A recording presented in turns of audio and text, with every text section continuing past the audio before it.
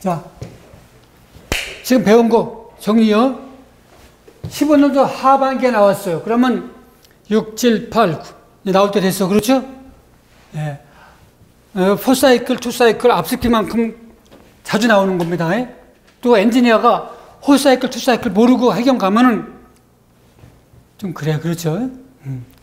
합격을 했는데 기관장이 물어봤을 때 모르면 그렇죠?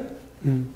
자, 가장 틀린 것은 이게 어려운 거 틀린 것은 잘 봐야 돼요. 가장 이럴 때 시험 문제 볼 때는 여기다 밑줄 쳐놓고 X표 쳐놓으세요. X표 시험 문제 풀어가면서 틀린 거 맞은 건 동그라미 동그라미 이렇게 쳐나가라고요. 그렇죠? 음, 그렇게 하면 나중에 이번 학, 누구, 누구처럼 실수하지 않아. 이번에 공부 잘하는 학생이 실수하는 게 바로 거기서 틀렸더라고.